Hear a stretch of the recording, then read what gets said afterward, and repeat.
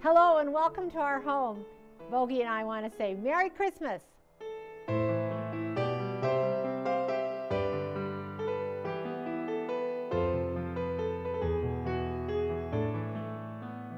What Christmas is like in our home is a big family event.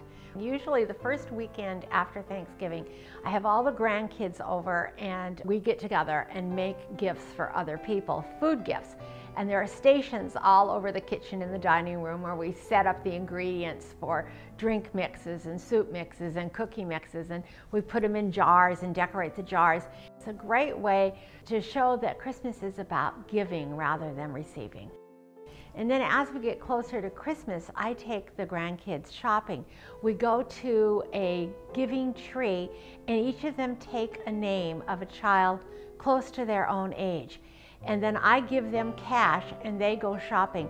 And I'm always amazed at how thoughtful the grandkids are about the gifts they purchase for another child. Christmas Eve, we play bingo. I know it sounds a little silly, but Grandpa calls out the numbers and we usually have fun little gifts for that and then we go to the Christmas Eve service. So that is Christmas at the Macomber House.